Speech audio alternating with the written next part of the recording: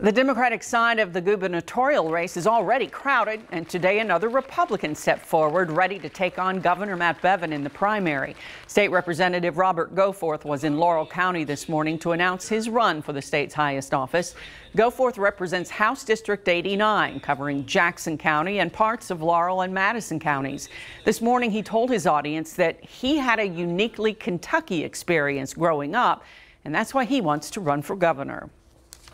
Our Commonwealth needs a chief executive who is a conservative, molded not by New England and Wall Street, but by Kentucky and Main Street. Goforth is running for the Republican nomination alongside Michael Hogan, who was a, Dem, a, a rather a Republican candidate for Attorney General in 2015.